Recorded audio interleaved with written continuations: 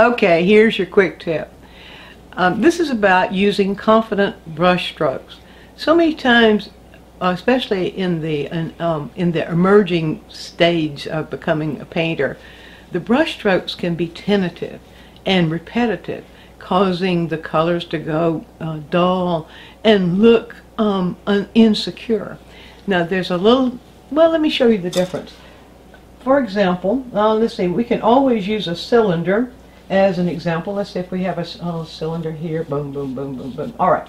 So say you you're you're painting this cylinder and you're not feeling very confident about the cylinder, and so you might do something like this, and you just you know a little bit, and then and you're and then you and and, and see that gets really smudgy and lacking in confidence.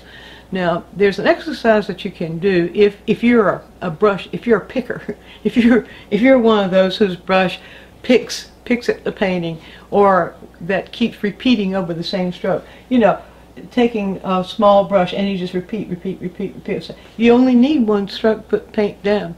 So uh, here's a little exercise that I'd like to show you um, that can help you build confidence with your brush strokes. And it goes something like this. You could use any shape, but I like starting out with a, a, a, cylinder. So just draw yourself a cylinder. You can draw it with a brush or with a pencil or pen. It doesn't make any difference. Now, here we go. Uh, and it doesn't matter about the, doesn't matter so much about um, light to dark and those kinds of things, although I will build it light to dark. So see if you can form the cylinder itself in under 10 strokes. And the way you do that, you simply start and you allow a stroke to start and end. Now, in this case, the stroke started here, and of course the paint ran out as the stroke ended. Well, rather than picking at it like this, you simply give it another stroke. Or you come from the bottom and give it another stroke. That was three strokes. The better thing to do is to have enough paint in the brush to begin with so that you don't have to give it multiple strokes. And you might decide that you would like to stroke it in this direction rather than the vertical. So there, one, two, three, that was four strokes. And so let's see here. Five, six, pick up more paint, seven, eight, and then use a blending stroke, nine, ten. Now, if you can, if you allow yourself to, uh, to go through that exercise several times until you can find a number of ways to, to stroke, um, it, you could decide that you want to stroke from side to side each time, like that. Hmm?